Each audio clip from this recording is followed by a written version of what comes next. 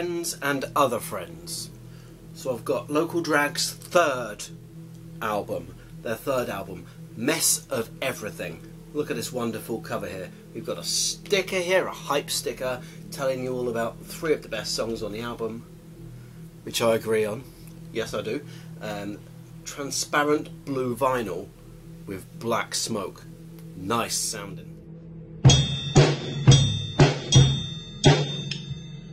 So the cover art for Mess of Everything, it is a painting that my friend Tim Reynolds did, and uh, thought it was cool. So I uh, "Can I have it?" And I put it on the wall. It's over there. And then I put it on the record. Thought it was cool. On the back here, in case you were wondering the names of the songs. They're written here, plain as to see, Stardumb Records, 10 tracks. I think 1, 2, 3, 4, 5, 6, 7, 8, 9, 5 on each side, probably. Uh, we've got the barcode, and we've got also included, this is a feature that I actually flipping love. A few years ago, right, I was uh, I was on my way down down to the town centre here um, to buy myself uh, maybe a cup of tea or uh, or some fish and chips like we do here in the UK, and uh, someone was chasing someone, and the other guy was running as fast as he could. I don't know why he was chasing him. Maybe he's stolen his favourite necklace, or maybe he'd. Um, he'd lost out on an important bet. Anyway, he was running away. He was spineless, you could say. He was spineless, but thankfully, this record has a spine, which you can see here, making the uh, the album three-dimensional, and it also includes information on the album. So within the album, we have uh, white card on the inside, just in case you're a collector of different colour cards on the inside.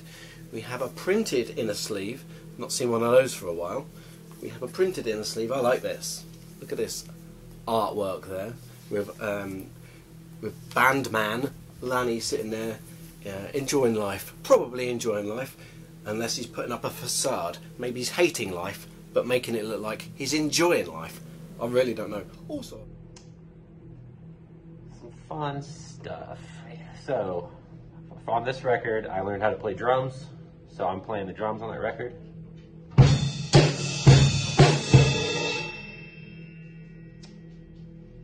That's pretty cool. I do everything on it this time around because it wasn't like anyone was clamoring for new local drag stuff besides me, so I decided to do it all.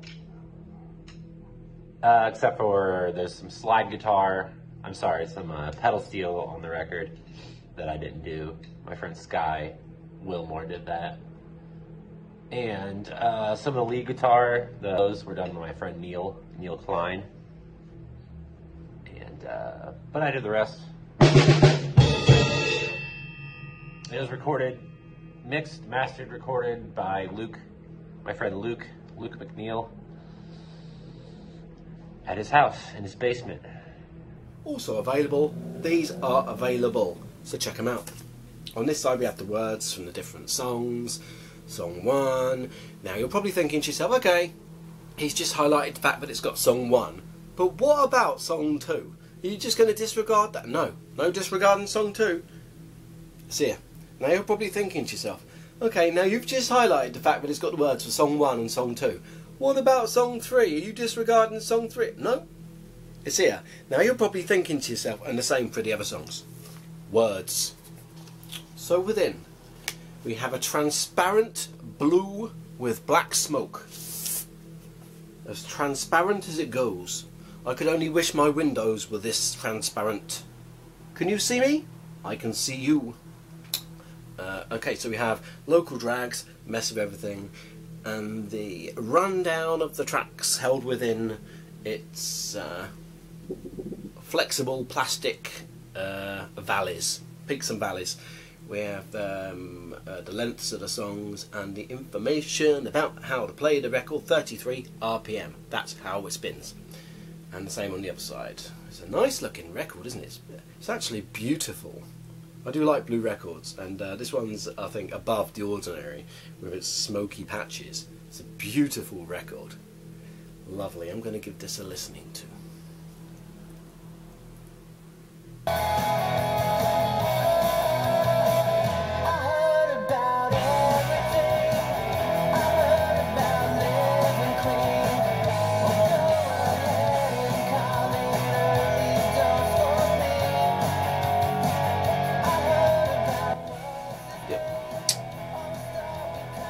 Drags, alright. Um, this is um, definitely, definitely what you'd expect from local drags. Although this time it's a smooth listening piece. This is more of a relaxed record. I think you could put this on in a car with your wife. Your wife who might usually be like, "Turn that down. That's too banging. Oh, I don't want you listening to this loud music." Oh, oh, oh." You could put this one in the car with your peaceful wife, and she wouldn't mind. She'd just sit back as well with you and enjoy the peaceful sounds and local drags. Uh, that- some of the songs on this, of course, have more of a country twang than previously, as uh, as you can tell in some of the riffs in the songs. Uh, Well, thought I would go more.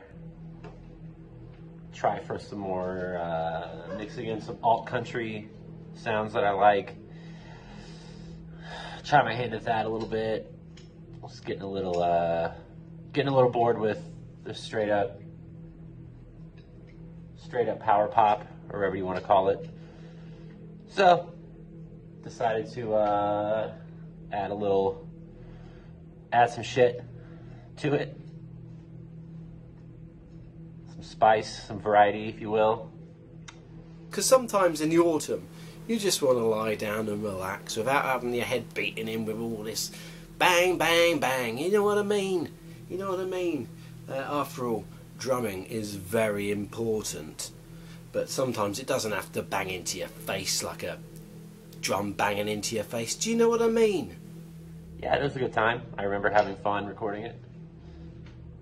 And uh, I would say the, a song I'm most proud of, uh, probably one of the more ballady type songs on there. Uh, Good for Nothing and Call You a Baby. Just tried to be do a little more a little more ballad action on there, and it worked out all right, I think. Not too embarrassed by the ballads, so they're pretty cool. But I think the best song on the record is probably "Feeling in Stereo." It was one of those one, one of those tunes that just came right out. Didn't have to work on it too long. Didn't labor over it.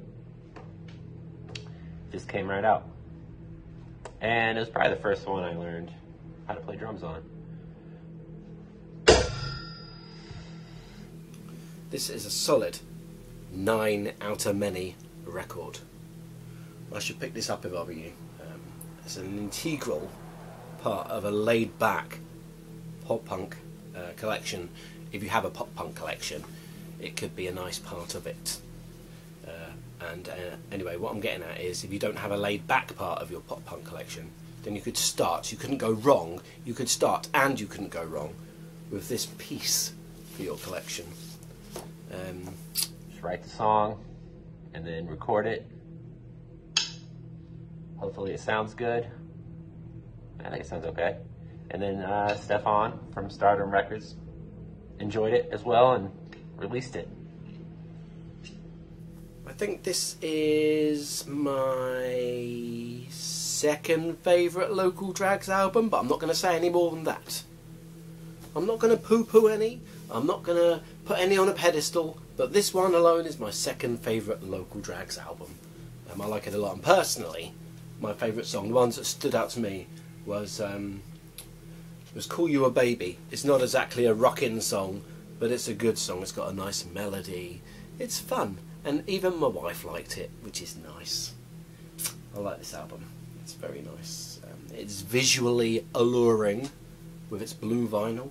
It sounds nice, and as a fan of the starter jackets, um, I started off um, buying the starter jackets seven inch from um, Brassneck Records here in the UK with I Suppose on it, and uh, those other songs. Uh, uh, uh, telephone song. I can't even remember what they're called without looking. But uh, anyway, I started off with that, and I knew that I loved the starter jackets.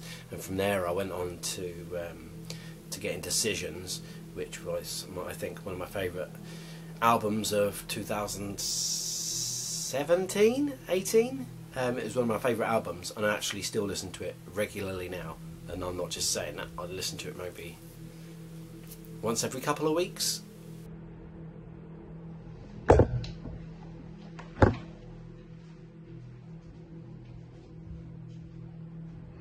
I'll either put it on my streaming device or I'll put it on my rotary spinning turner and enjoy it a lot. And my very favourite song on that is actually um, the, the, third track, of which I can't remember what it's called. But that's a Lanny song anyway. My whole point is that's a Lanny song. And I just love his Lanny voice. Yeah, old Lanchester. I appreciate him a lot. Uh, I love the Lanny songs in the starter jackets. So therefore, of course, I'm a strong fan of local drags, which is like an extraction from one band and making itself into another band. Check out this album. It doesn't have a wallpapered inside, unlike the second album by Local Drags. But uh, that is unless you like white plain wallpaper, in which case it does have a wallpapered inside. Thanks very much for watching my very very in-depth review of the local drags album Mess of Everything as we pronounce it down here in the south of England. In the north of England they'll probably say something like Mess of everything mate! Mess of everything mate! They'll say that. Down in the south of England, Mess of everything. That's the different accents we have here. In the English UK. Um, I'll see you next time. Don't forget to subscribe unless you don't want to, in which case you didn't, so well done. At least you made a conscious choice as an adult. I appreciate that. Uh, as an adult, you should have the power to make your own choice and make your own decisions. Starter jackets joke. And uh, so, all the best, and I'll see you when the guts fall off.